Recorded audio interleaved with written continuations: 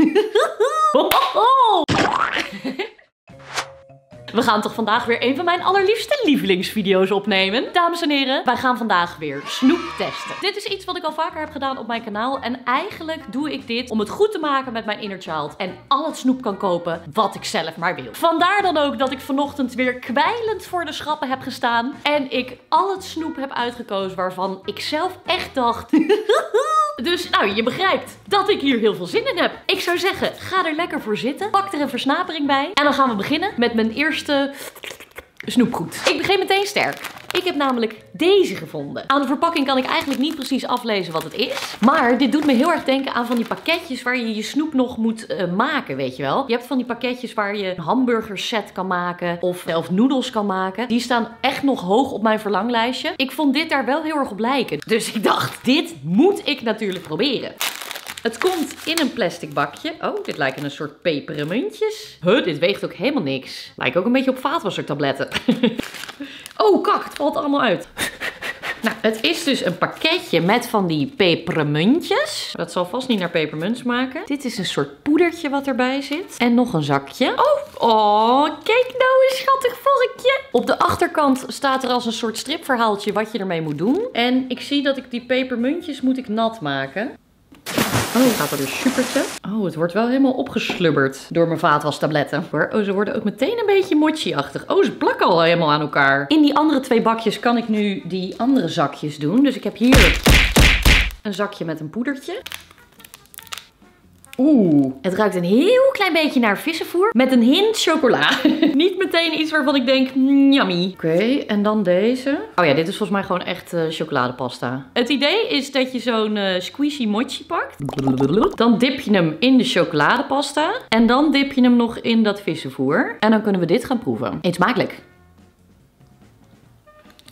Mm. Oké, ik ben geen fan van deze structuur. Nee, nee. Oh nee, dit is het niet. Nee, wat een vieze structuur. Die hele mochi die smaakt echt helemaal nergens naar. Oh, sommige stukjes zijn ook nog een beetje hard. Dat heb ik niet helemaal goed gedaan. Dit heeft echt een heel erg snotstructuurtje. En het smaakt werkelijk echt naar niks. Nou, die chocoladepasta. Dat is echt de allergoedkoopste chocoladepasta die ik ooit in mijn leven geproefd heb. En het poeder. Dat is nog het lekkerst. Nou, het heeft een beetje een hint van uh, pinda, maar wel chemisch. De experience vind ik heel erg leuk. En de verpakking krijgt echt 10 punten. Maar de smaak? Ik had het denk ik als kind ook echt niet lekker gevonden. Ja, en wat dat betreft kan ik het, kan ik het eigenlijk niet eens een voldoende geven. Dit krijgt 3 punten. Ik hoop dat de volgende wel meer een succes is. Want we gaan namelijk voor deze. Sour Cherry Flavor Chewing Bar. Ik heb deze gekozen omdat ik al wel eerder uh, producten heb getest van dit merk. En ik ben er altijd een enorme fan van. Oh, oh, dit is zo zuur. Oh, wacht, dit is zo zuur. ik kan niet tegen zuur. En aangezien deze er ook weer zeer danger uitzag, dacht ik, let's give it a try. Wauw, het heeft wel een mooie kleur. Roze. Het doet me echt heel erg denken aan de Lange Jan van vroeger. Kennen mensen dat nog, Lange Jan? Gelukkig hard. Oh, Het doet me niet zoveel. Ik vraag me af wanneer het zure nog moet komen. Oh, wacht. Is die niet een klein beetje open van binnen? Zou daar het zure in zitten? Ah, zo hard, jongen.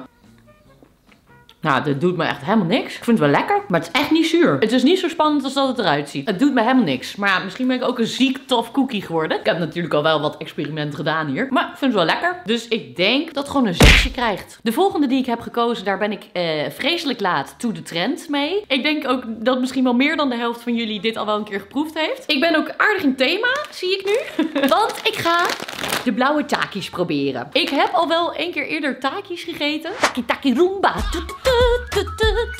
Die vond ik volgens mij wel oké. Ik vond ze niet zo lekker dat ik dacht, die ga ik nog een keer kopen. Ik heb ook een keer een taki lolly gegeten. Die vond ik goor. Dus ik ben heel benieuwd wat ik van de blauwe takis ga vinden. Oh, het ruikt wel heel lekker. Nou, dit ziet er heel goed chemisch uit. Ik zou zeggen, proost. Oh, zuur? Oh, is heel lemon. Wow. Wow. Wow, zieke lemon? Oh, dat had ik echt totaal niet verwacht. Hè? Dat staat er ook helemaal niet op. Oeh, en best wel spicy. Oeh. Oh. Zo, die lemon smaak is echt on point, jongen. Het is echt alsof ik gewoon een verse limoen in mijn, in mijn mond uitknijp. Zo. Pittig.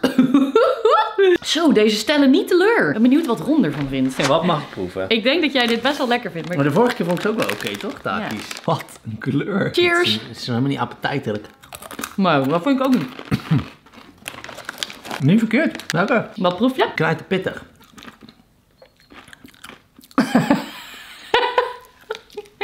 Dat is niet normaal. Hoeveel punten geef je? Maar 7,5. Die limoensmaak wordt op een gegeven moment wat veel. Ja, je kan hier nooit een hele zak van eten. Maar ik vind het gewoon zo om te proeven wel echt lekker. De volgende die we gaan proeven, die heb ik absoluut gekozen vanwege het etiket. Ik heb namelijk het volgende.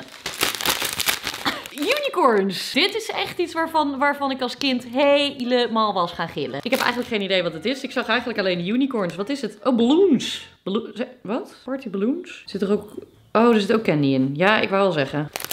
Oh! Ik heb hier een eenhoornballon. En dan zit hier de candy. Party balloon popping candy. Oh, popping candy. Popping candy. Oh, het zal wel knetter, knettersnoep zijn.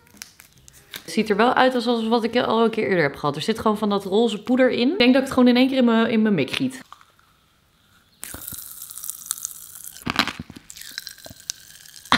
Dit is altijd zo intens als je als je, je mond dicht doet. Mm, maar ik vind het wel lekker. Ja, ik vind het leuk. Ik hou hiervan. Oké, nu ben ik ook razend benieuwd naar mijn balloon. Twee ballonnen. Zijn wel heel cute. Ik ga denk ik wel mijn ballonnen weer terug doen in het zakje. Want ik heb er nu niet zoveel aan om die op te blazen. Maar als ik jarig ben, weet ik al dat er hier unicorn ballonnen in de kamer hangen hoor. Reken daar maar op. Ik vind dit pakket, ja, je krijgt niet heel veel snoep. Er zitten maar vier van die zakjes in. Maar ook twee ballonnen. En het was niet heel duur. Dit is wel echt mijn kinderdroom. Dus ik denk wat dat betreft, krijgt het echt een dikke 8. Ja, ik vind het een topper. Om dit geknetter toch een beetje weg te spoelen, heb ik een lekker drankje meegenomen. Namelijk deze. Ik heb dit al honderdduizend keer voorbij zien komen. Maar ik heb dit dus nog nooit zelf geproefd. Het leukste hieraan is volgens mij om hem te openen. Want er zit een soort van dopje bij. Oh ja, kijk. Hier zit dus een glazen balletje. Een soort knikker. En dan moet je met je dopje, moet je dat indrukken. En dan valt dus dat balletje hier, als het goed is. Hoe hard moet je drukken dan? Krijg ik dat balletje ingedrukt dan? Hé? Ik krijg het helemaal niet open. Hoe moet dit open? Ik denk dat ik een tutorial moet kijken. Ik snap het niet. Oh, wacht, ik snap het. Ik snap het, ik snap het. Ik moet dit er volgens mij eerst uitduwen. Oh, ja, oké. En dan kan ik daar weer dit mee induwen. Komt-ie, lieve mensen. Dit wordt spektakel. Oh, je moet verder duwen. Hè? Hè? Nou, ik kan dit helemaal niet. Oh, ja.